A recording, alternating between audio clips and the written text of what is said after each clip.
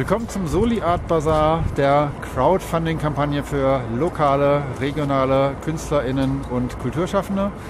Parallel zur Kampagne auf hannovermachen.de, die vom 30. November bis zum ähm, 21.12. läuft, ähm, haben wir in der Kröpke-Uhr, jetzt noch nicht, aber dann, äh, eine Ausstellung mit diesen Objekten, sodass man die Kunst aus Hannover und Umgebung äh, sowohl online in, dieser virtuellen, in diesem virtuellen Bazar sehen kann, als auch in der Kröpke-Uhr. Und ähm, es ist eine Spendenkampagne für lokale KünstlerInnen und Kulturschaffende.